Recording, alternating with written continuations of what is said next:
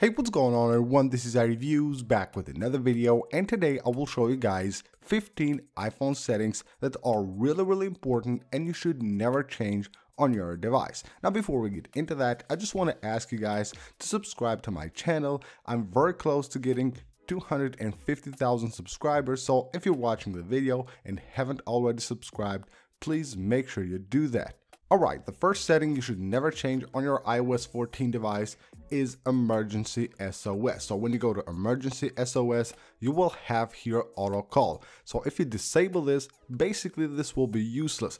Now auto call will actually automatically call the emergency contacts of course if you're having an emergency that's a really really important setting on your device of course it will be very important for your safety so always make sure that you have auto call turned on the next setting we're talking about is Find My. Now this is really important. You can find it at the top of your settings app when you go to profile and actually here we have three different settings into one and you should always have these turned on. So Find My of course allows to locate your device. Then it's Find My Network. This is also very important. Basically if you participate on Find My Network this will let you locate your device even though it might be offline and then send last location. This one is also very very important. Basically this will automatically send the last location of your iPhone to Apple when the battery is very very low and your iPhone is about to turn off the last location of the device will be automatically sent to Apple. Of course having Face ID, Touch ID and the passcode of course enabled on your device is always really important but there are extra settings that you can find on this section and one of them is require attention for Face ID and this one is really important basically the Face ID will require your full attention before unlocking your device. That of course makes it much much secure so always make sure you have require attention for Face ID enabled on your device and don't disable it. Then we have here attention awareness features. Now this one is very cool. If you enable this, you have your iPhone and when it knows that you're watching your iPhone, you get a notification. You won't get a loud sound on the notification because it knows that you already have your attention on the device. And that, of course, makes it very very useful and of course very neat to have those features so always make sure that you have of course your face id and passcode enabled and have enabled require attention for face id as well as attention aware features. Something very simple yet very important on your device is time and date. When you go to settings you go to general you will have here time and date. Make sure that you'll leave it on automatic all the time. If you don't do that and actually turn this into manual and change the date of your device, then you won't be able to access websites, not even App Store. Now, websites work with certificates. If you change the date, they are dated, of course, and if you change the date on your device, they will check that date and, of course, won't load the website.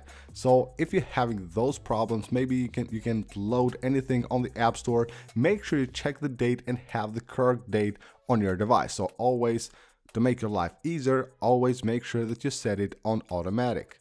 Now when it comes to iPhones, of course, one of the most important things is the battery.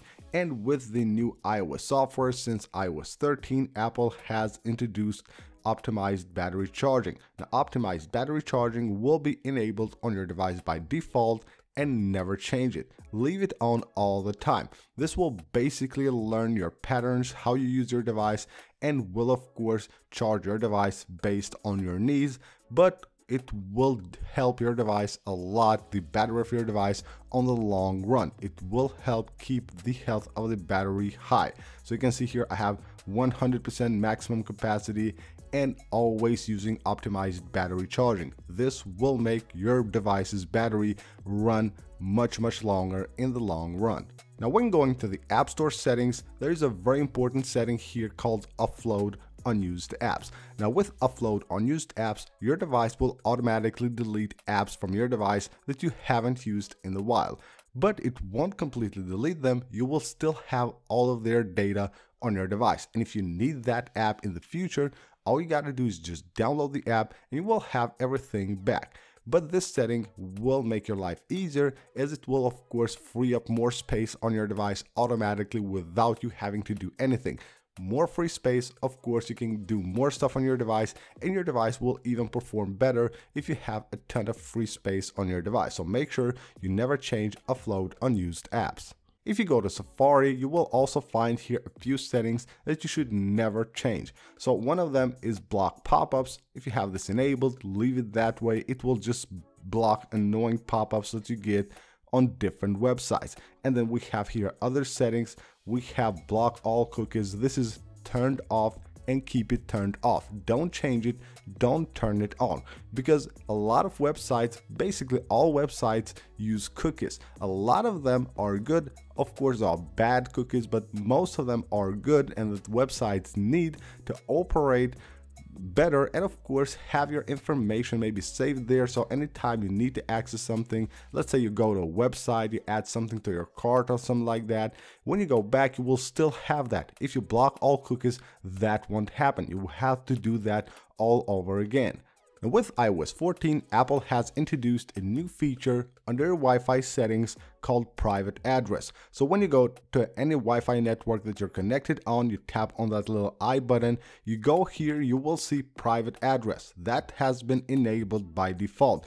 Basically, using this private address will reduce the tracking of your iPhone across different Wi-Fi networks and this is a very good feature that Apple has introduced with iOS 14 so of course leave this setting on and make sure you never turn it off. For the next setting we're going under accessibility and we're going here to Siri.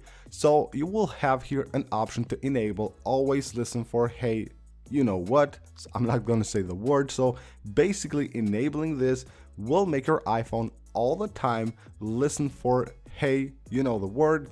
And of course that will consume a ton of battery as your iPhone will always be prepared to listen to that word even though it might be in your pocket covered or it might be facing down on a table. It will always stay active waiting for that command. So make sure you turn that off and of course it will be off by default. So all you gotta do is just never change it for the next setting, we're going under the home screen settings. This is a new section that has been added with iOS 14, of course, since the release of the new app library feature. Now, right here, you will find notification badges, show in app library, and it's enabled.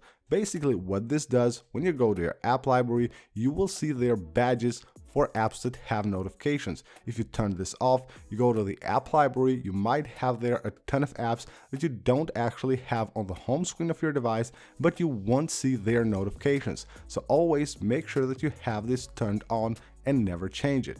Next, we're going under display and brightness. Right here, you will find auto lock. Now, auto lock is a very important setting. You might overlook it, but it's very, very important. So if you go to auto lock, you will have here a bunch of different options, of course, to make your device lock itself. If you keep it at never, this will basically leave your device unlocked. If you don't lock it, with the side button, it will just stay unlocked. You might forget it somewhere and it will stay unlocked and someone can have access to your phone. But if you keep it at 30 seconds up to 5 minutes any one of them, your device will automatically lock and it will be of course much much safer.